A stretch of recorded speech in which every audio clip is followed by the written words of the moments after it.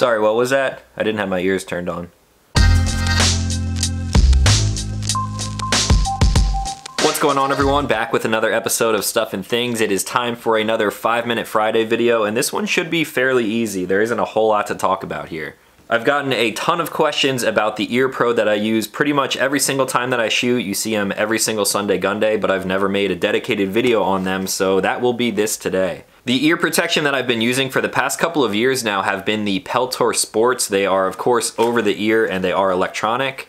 You can pick these up for roughly $40, actually a little bit under $40 right now on Amazon. So they are relatively cheap, but at the same time there are a lot of nice features that I like about these things, so let's take a little bit of a closer look.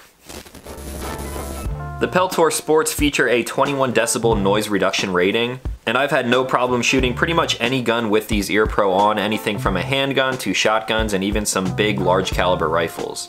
There's an easy access external battery door and these things run on two AAA batteries. The headband is made of this nice, almost faux leather type of material. There is a little bit of cushion underneath, and obviously I wear these things for long periods of time, and I have absolutely no complaints about comfort. They are a fairly low profile cup design, so they do sit nice and close to your head.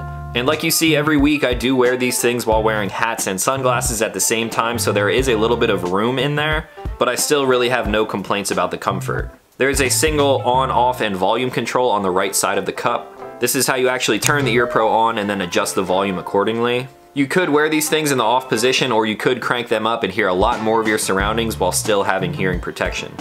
On the outside there are also durable recessed microphones with little wind covers over them. This is nice because it will prevent any damage from banging your head around into anything, and it will also reduce wind noise which I don't really have a huge problem with when using these. There's also a 3.5 millimeter audio input jack, which is compatible with anything like an iPod or your cell phone. You could also run a two-way radio through this, but that is actually a feature that I have never really used. And then probably one of my favorite features is that there is a 4 hour auto shutoff and a low battery warning. And that 4 hour shutoff has definitely saved me a lot of times because I don't always remember to turn these things off when I'm done shooting.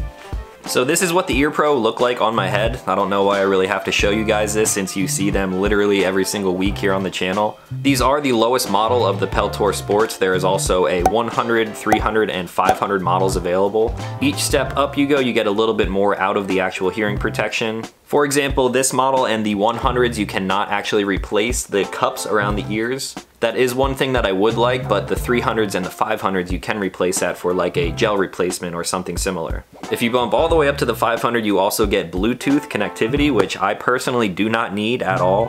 However, it would be pretty cool to kind of answer a phone call if I'm out on the range just by kind of pressing on the side. Now you guys know I've been wearing these for a very long time and the reason I haven't upgraded is simply because if it's not broke, don't fix it. I have also tested and worn some other very expensive, very high quality ear protection and one thing that I can say is that I am actually a fan of the way that these things sound. If you are familiar with Electronic Ear Pro, obviously when you turn up and down the volume, it kind of changes the way that you hear your surroundings. I can run these things all the way down. Hopefully I'm not screaming now because I can't really hear a whole lot. But I can run these things down really low and have some very nice hearing protection. But at the same time, if I want to hear my surroundings a little bit more, I can crank these up and then now I can have a full-blown conversation at a relatively normal talking volume. This is really nice for training events when you have to be wearing ear protection but someone like an instructor is talking. And it could also be used in like a hunting situation. When I crank these things all the way up, I can hear stuff that you normally don't really pick up on just by using your naked ears. Everything is sort of amplified, but it's not to a point where it sounds artificial. Like I said, I have tested some very expensive ear pro in the past, and once you crank it up a certain way, it almost gets like tinny. It's not a very good sound.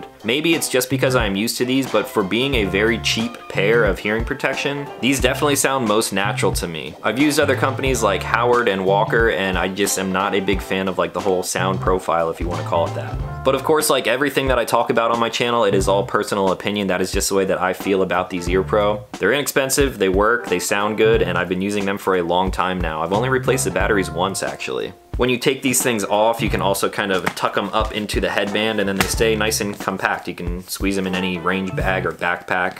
And if you have the opportunity, I would recommend trying as many pairs as possible until you find some that actually fit your price point and fit your kind of ear type. There are so many different options to choose from out there. Obviously, over ear are not gonna be for everyone. I have some things in my safe that you really have to get your ear down on like a buffer tube or something to actually shoot accurately. So sometimes I'll just throw in foam earplugs. But yeah, for the most part, these are what I use every Sunday gun day, every time I'm out at the range or doing anything where it is very loud. And for about 38 bucks on Amazon right now, maybe this would be a good option for some of you guys out there. So that's it. That was a quick one. Hopefully you guys enjoyed this five minute Friday. If you did, slap a like on it. I would appreciate it very much. If you have any questions on these ear pros specifically, let me know in the comments down below and I will try to answer them as best as possible. Now starting tomorrow, I have a pretty cool announcement coming to the channel, so definitely stay tuned for tomorrow's video. There is going to be a lot of content coming your guys' way, so hopefully you're stoked on that because I definitely am. Now if you're new to the channel, consider clicking subscribe. Like I said, a lot of new content is coming soon and that's all that I had for today. So as always, thank you guys for watching and I will talk to you in the next one.